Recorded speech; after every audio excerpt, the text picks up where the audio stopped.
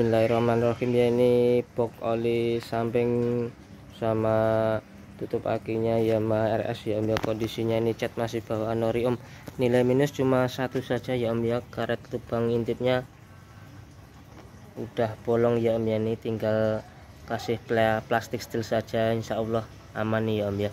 Kondisinya utuh om tutup oli juga masih bawaan ori ya om ya. Cat masih bawaan ori om tergolong masih sangat bagus ya om ya lubang bautnya dudukan masih aman semua ini.